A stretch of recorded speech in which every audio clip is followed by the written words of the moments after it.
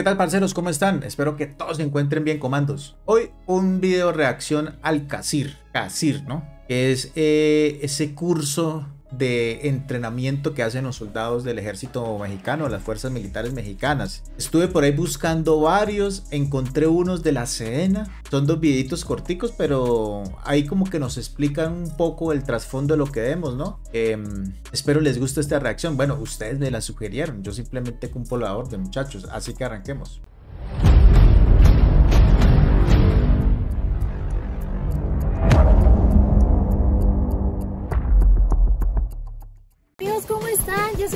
Dorley Michelle y los saludo desde el Centro de Adiestramiento de Combate Individual Regional en San Miguel de los Jagüeyes, en donde les voy a mostrar esa transformación de la vida civil a la vida militar. Todo comienza al llegar al campo. A ver, Ejército Mexicano, Campo Militar número 37C, General Brigadier Rafael Eguía Liz Salot, San Miguel de los Güeyes, Estado de México sería como, aquí en Colombia, serían como los, eso tiene un nombre, aquí también tenemos centros de, de entrenamiento, los... Y se me olvidó el nombre, muchachos. Tienen un nombre, pero se me olvidó. Ya, ya uno lo viejito, hermano. ¿Hace cuántos años salimos? en el transcurso del video, me acuerdo, se los digo. Los aspirantes son llevados a la zona de adiestramiento, que será su hogar durante algunas semanas. Esto es, esto es como la fase de terreno que llama uno en Colombia, ¿no?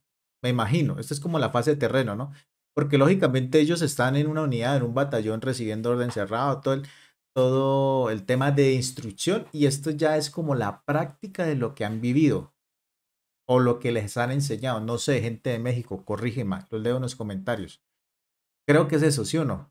Es como la fase práctica de todo lo que les han enseñado en su respectiva unidad.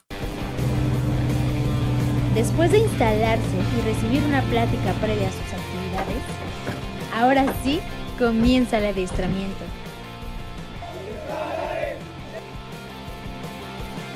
Pregunta seria. Pregunta seria. ¿Estos muchachos van a ser, van a prestar su servicio militar o van a ser tropa ya profesional? Es pregunta. Me gustaría saberlo de muchachos. ¿Por qué? Porque acaba de ver una mujer. Acaba de ver, una niña. Entonces, me gustaría saber si, si, ellos están recibiendo este entrenamiento para, hacer, para prestar su servicio militar o para hacer tropa ya profesional.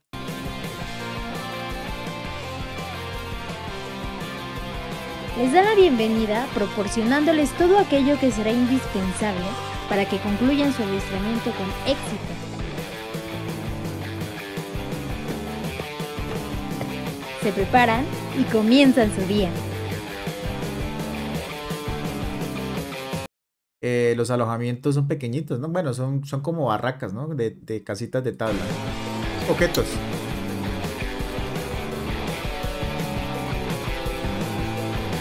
Son puliditos, vea.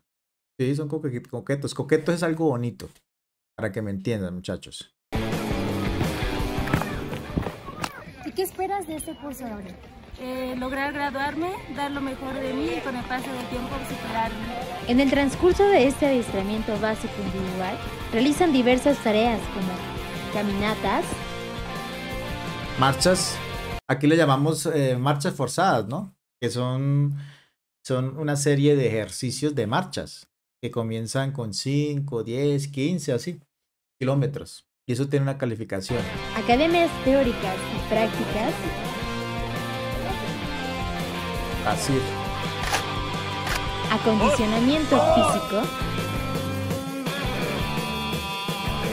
A mí me gustaría conseguirme, eh, me gustaría conseguirme un uniforme de deportes del ejército mexicano. Alguno de ustedes me lo va a regalar, yo sé que sí. me gustaría conseguirme una camiseta, pero completo, ¿no? O sea, un uniforme de deportes. Instrucción de orden cerrado, entre muchas más. Al trote, marre. ¿Quieres saber más sobre las actividades que realizan? Síguenos, porque esto apenas comienza. Bueno, sigamos con la otra parte del video. Es el Centro de Adiestramiento de Combate Individual. Aquí ya vamos para la, para la otra parte, partecita. Son videos corticos realmente, pero son bastante interesantes. Aquí van a hacer un ejercicio de tiro. regional, así que quédense conmigo hasta el final del video.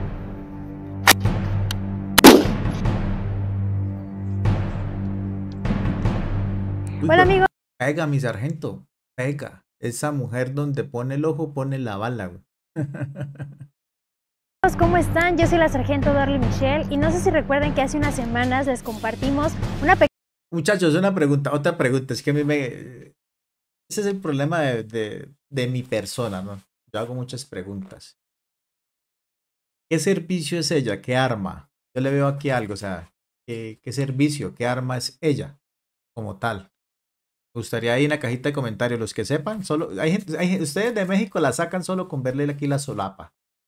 Ya saben qué, qué servicio es. Pequeña parte de esta transformación de la vida civil a la vida militar. Y el día de hoy les voy a enseñar cómo ellos se siguen preparando desde el Centro de Adiestramiento de Combate Individual Regional. Así que acompáñenme.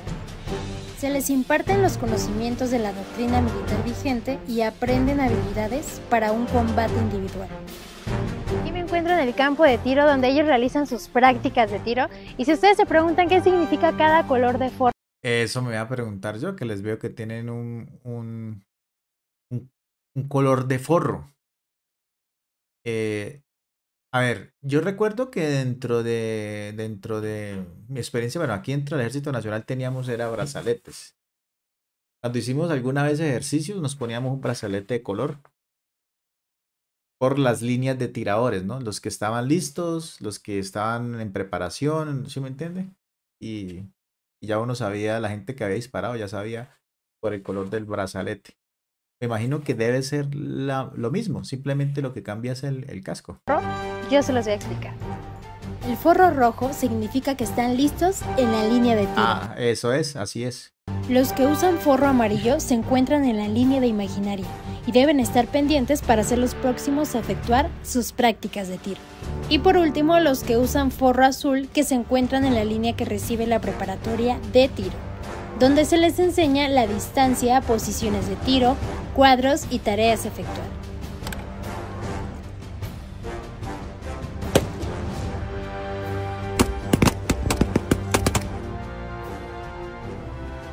Yo quiero, yo quiero de pronto hacer una pequeña observación con lo que vi ahorita. Eh, eh, para la gente que, mm, quiera ser militar, eh, o bueno, los que, los, que, los que son militares saben, que ya tienen tiempo saben.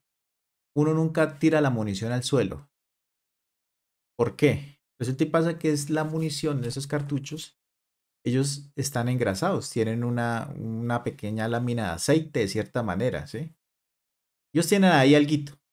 Entonces, cuando uno los bota al piso, a la tierra, eh, esa munición se llena de eh, polvo. Y a esos, eh, esos cartuchos hay que, lógicamente, limpiarlos muy bien porque ese polvo puede eh, trabar o atorar el cartucho en la recámara del fusil por esas partículas chiquiticas, ah, por muy minúsculas, pueden atorar el cartucho y se traba el fusil, como llama uno, se atasca. Entonces es importante eso, muchachos. Eh, lo hago porque veo que el soldado, lógicamente, él todavía es una persona que está recibiendo inducción. Es entendible. Pero particularmente cuando uno ya es antiguo en esta vaina, uno sabe muy bien que la munición nunca se tira al piso. Siempre, ahora, si usted la quiere poner en el piso, debe poner un trapo y encima de esa munición coloca usted. Algo debe, debe eh, evitar que toque completamente el piso y siempre estar muy limpia, ¿no? Es lo importante. Una de las diversas actividades que ellos aprenden estando aquí es hacer la radiocomunicación, frecuencias, componentes, el alfanumérico, entre muchas, muchas cosas más.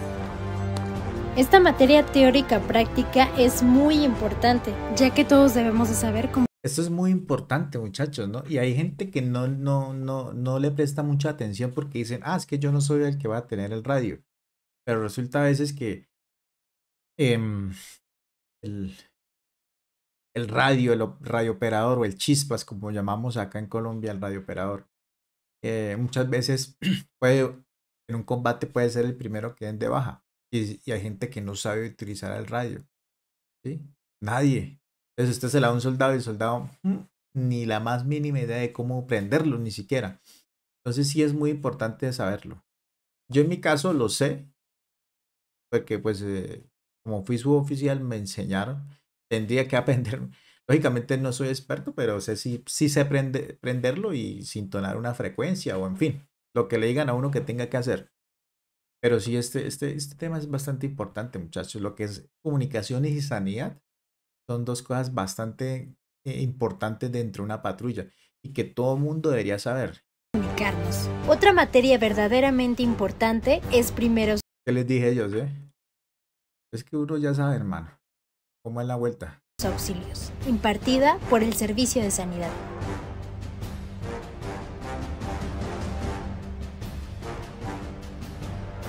Otra de las actividades que realizan aquí en el Centro de Adiestramiento de Combate Individual Regional es el aprendizaje de los primeros auxilios, que es fundamental para poder salvaguardar en una situación de peligro la vida de un compañero. Amigos, esto fue todo por parte del Centro de Adiestramiento de Combate Individual Regional por el día de hoy. Cuídense mucho, recuerden compartir, darle me gusta y pues seguir pendiente de todas las redes sociales de la Secretaría de la Defensa Nacional. Cuídense mucho, yo soy la Sargento Dorly Michelle y nos vemos hasta la próxima. Bueno, señores, eh, un videito cortico, ¿no? Cortico pero sustancioso, ¿no? Eh, muchas cosas, eh, recuerdos que vienen a mi mente de, también de mi fase de entrenamiento. Algo muy parecido aquí lo que vimos en Colombia en la fase de, de campo, podríamos decirlo. yo viví muchas, muchos, muchos, creería que en mi vida militar más de 10 situaciones como esta de entrenamiento y reentrenamiento, porque también se reentrenan nuevamente todo lo aprendido. Pero así voy conociendo un poco más del ejército mexicano, ¿no? He estado reaccionando videitos de temas de entrenamiento, de cómo es la vida dentro de este ejército, que me parece bastante tiene cierta, mucha similitud a lo que vimos en Colombia, muchachos. Y yo siempre les he dicho que esa similitud eh, básicamente es por el tipo de doctrina que manejamos. Nosotros manejamos doctrina gringa, estadounidense, la americana, como lo decimos nosotros. Entonces, por eso es que hay muchas similitudes dentro del entrenamiento y del día a día del soldado comandos. Espero les haya gustado este videito, señores, ya saben, si son nuevos en el canal, suscríbanse, compartanlo, dejen el like y nos estamos viendo yendo uno próximo. Chao.